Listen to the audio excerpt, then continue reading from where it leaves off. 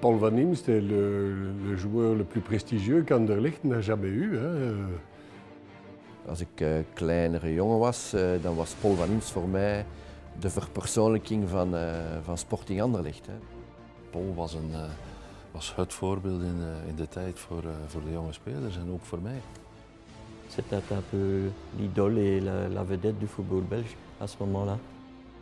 Paul, dat was klasse, stijl, talent. Uh, ja, zowel op, het, op als naast het veld.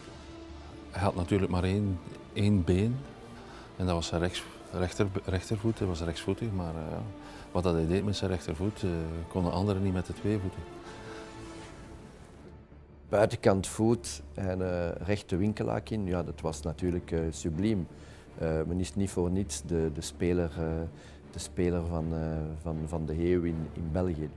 C'était surtout un, un, joueur qui était techniquement très fort, qui faisait beaucoup avec l'extérieur du pied, était spécialiste. Il marquait beaucoup de buts, était capitaine d'Anderlecht, était, euh, il était omniprésent euh, dans la ligne d'attaque d'Anderlecht.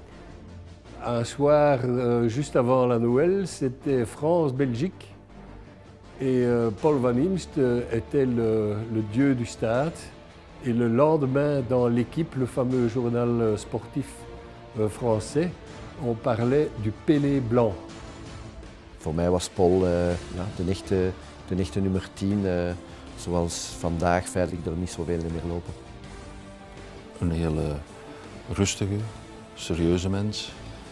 Uh, die heel zijn leven voor de voetbal geleefd heeft en voor zijn werk en voor zijn kinderen. Encore maintenant l'icône du, du RSC. Paul is in feite een groot stuk uh, sport in